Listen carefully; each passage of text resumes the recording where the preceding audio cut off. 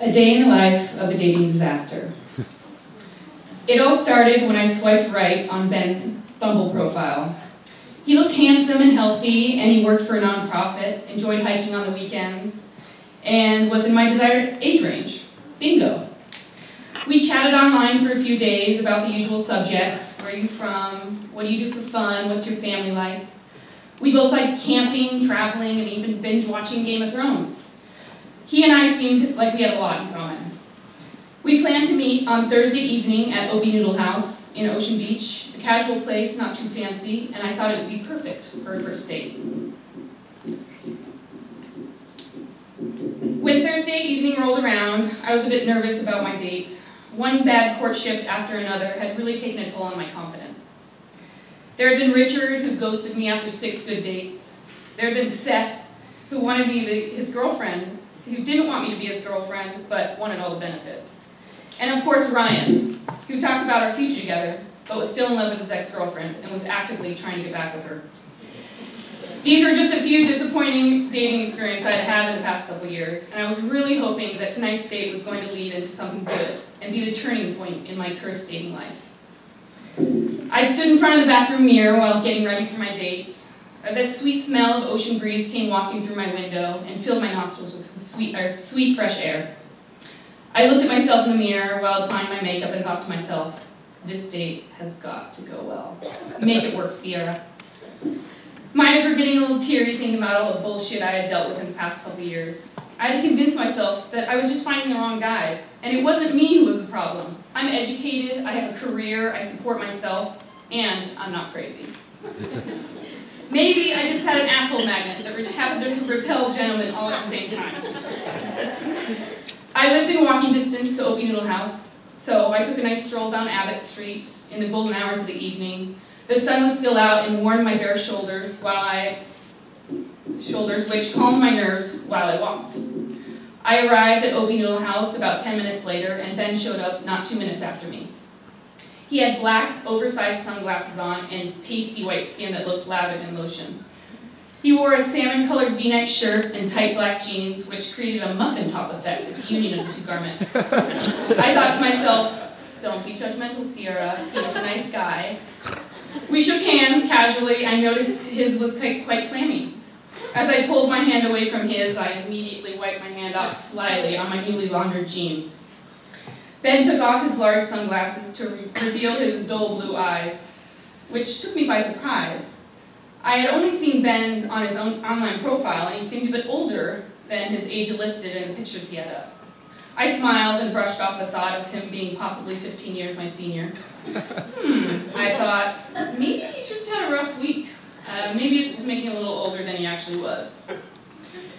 We talked to the hostess and got seated at a nice table since the weather was nice and, and beautiful and cooling off from a nice summer, hot summer day. He seemed very personable, and I felt oddly comfortable around him for a first date. He laughed at my jokes and was extremely complimentary, which did wonders for my confidence. After, after about an hour, we had a couple drinks each, some delicious chicken wings, and some side-ground fried rice. I felt as though our date was winding down. He, on the other hand, seemed to think that the party had just begun. He ordered more drinks, two at a time, for himself. Uh, I giggled awkwardly with wide eyes and ordered another beer. The conversation continued as we shared travel stories and embarrassing high school dramas. He then mentioned that he had had a, a bad car accident a few months before and said his shoulder hurt and was bothering him. My first thought was, how on earth does this man have any pain in his body with the amount of alcohol Before I could finish my thought, he pulled out two oval pills from his pocket and popped them in his mouth with a gulp from his old-fashioned. He kicked his head back as he swallowed both pills. Vitamins? I asked. no, Oxycontin, he said in a matter-of-fact kind of way. My eyes widened in disbelief and cringed slightly at thought of being a, him being a possible pill popper. Oh, I said, aren't you not supposed to mix alcohol with prescription pain meds? Nah, I do it all the time, he scoffed. At this point, the red flags were waving around in my head. I am no angel, but on a first date, I think you should at least seem well behaved. my father's voice popped in my head and said, No, no, no, this guy is bad news. Abort, abort. I tried to hide my dismay and continued our conversation. After all, I was a bit tipsy at this point, and my voice of reason had definitely gone to bed. After another 20 minutes or so, I noticed his eyes glazing over a little more than they already had been. Want to get out of here? he grumbled. Uh, sure. Where were you thinking? I said innocently. How about a real bar? he stated. I looked at him and smiled while the waitress dropped off our bill, Ben grabbed the check and graciously pulled out his wallet to pay. I was relieved because uh, Ben had racked up quite the nice tab with his expensive whiskey drinks and uh, had helped himself to my dish after he had scarfed his down.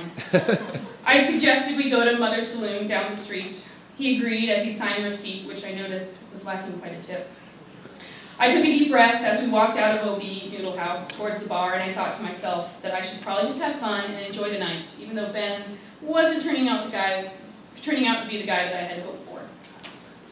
We walked into Mother's Saloon about 15 minutes later and were welcomed by a perky waitress with a toothy smile.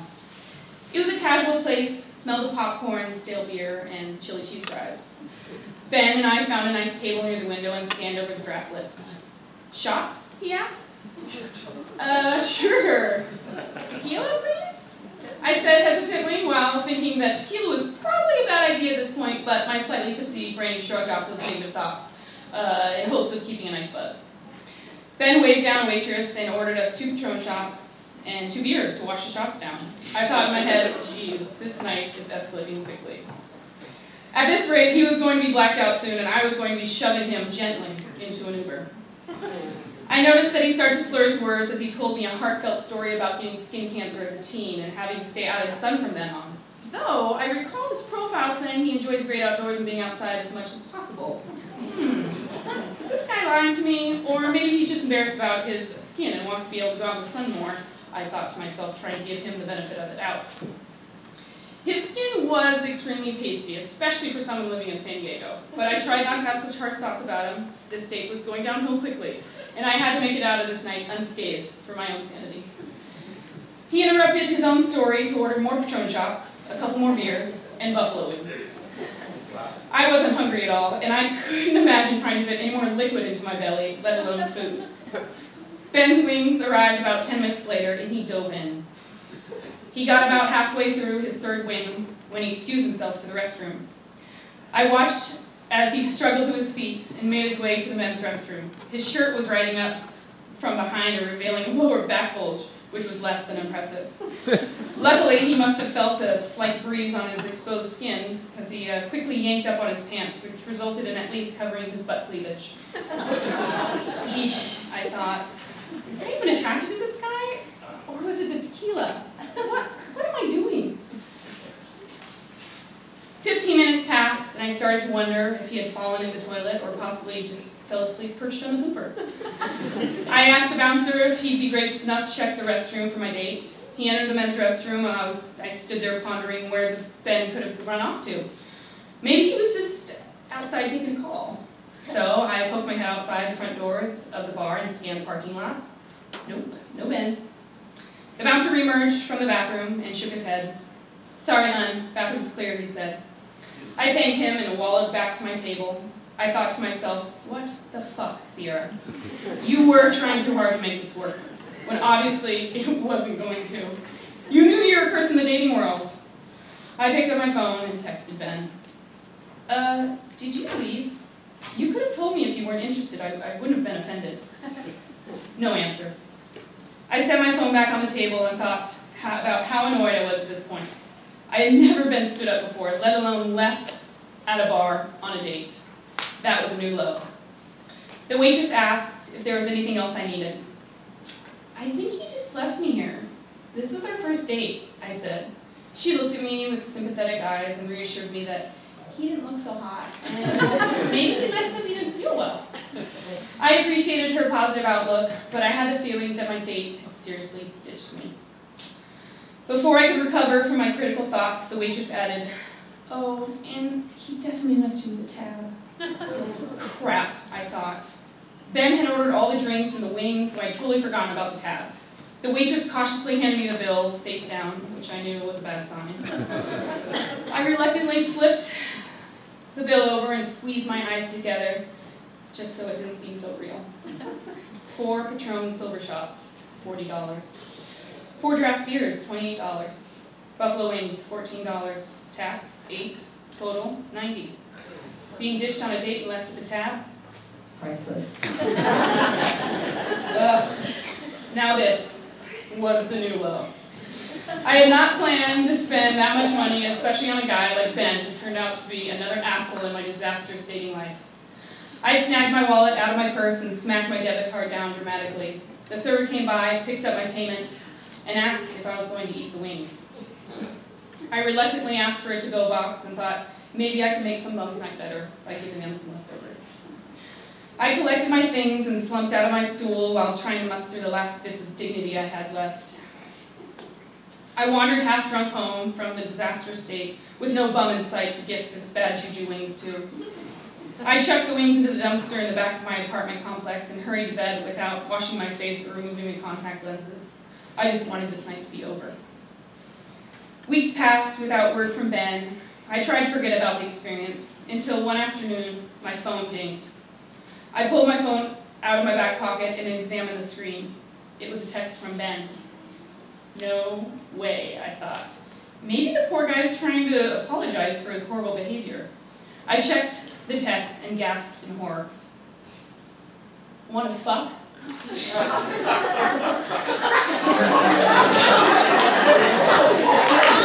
My eyes widened as the second text from Ben popped up on the screen. Wanna fuck? I recoiled from my phone in disgust. What the hell was this guy thinking? Uh, that's solid no from me. well, it should be a solid yes. Do you even know who you're texting right now? Uh, yeah, why? Because the last time you saw me, you left me at Mother's with the tab. Well, I think dinner. Who gives a fuck? You left me with no warning and a $90 tab of beer, shots, and wings that you ordered. I didn't order any shots. oh, yes, you did. You ordered four Patron shots. Two for me, two for you. I had the receipt. I don't know what you're freaking out about. Does this honestly work for anybody? I can't wrap my head around what the dating world has turned into. Have men just decided not to be gentlemanly? Have they decided to be assholes? I, just want a man who has poop and knows how to treat a woman. I want a man who is honest and doesn't have to lie about himself on a dating app. And I definitely want a man who would never dream of leaving his, their date at the bar with a $90 tab. Ben, you ditched me on our date. You were a complete and utter prick. I don't want you to ever contact me again. So, you don't...